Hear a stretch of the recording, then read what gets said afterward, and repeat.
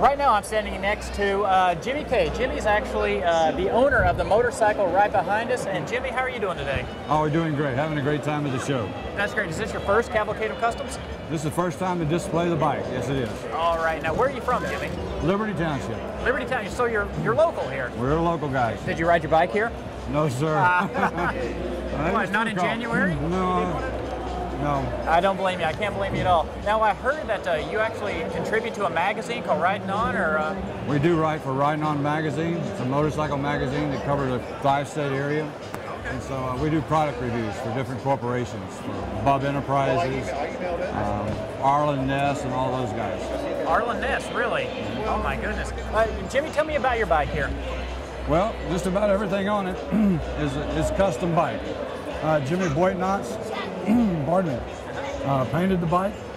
uh, painted the bike. Arlen Ness provided uh, the air intakes. Uh, Dennis Manning provided the True Dual exhaust system. Wow. Uh, Bikes to Envy provided the, the chrome wheels uh, and, and a lot of the chrome stuff that's on the bike with southern layer plating. I just got it. Uh, custom seats with ostrich skin. it's a bit bit elaborate, but A bit. it's, sure. it's, it's comfortable though. Gel Gotcha. pads. But this is a riding bike. We ride this bike. This bike's got about 30,000 miles on it. Okay, that was going to be my next question. As much money and time as you sink into a bike like this, you're still going to put it out on the road. Yeah, I rode it all the way back from Arkansas the day before Thanksgiving, 2,200 miles. And the painter, Jimmy Boitnott, wasn't real happy with me because he said, uh, you're not supposed to be riding that bike. It's a brand new paint job.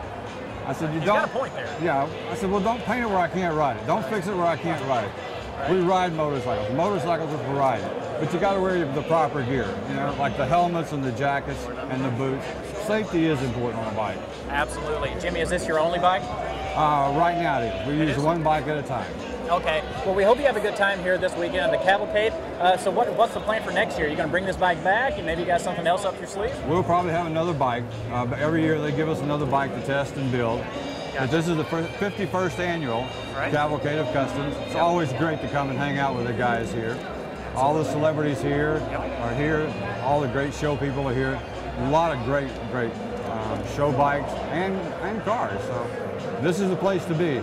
It's too blessed cold to be outside, so you might as well be inside. Oh, you're absolutely right about that. Now, Jimmy, uh, before we get out of here, I want you to plug your website so people can follow you online. It's just www.twowheelthundertv.com. TWO. TWO. All right. Thanks, everyone, from Cincy Entertainment. Thanks, Jimmy. You're more than welcome. Thank you. Appreciate it.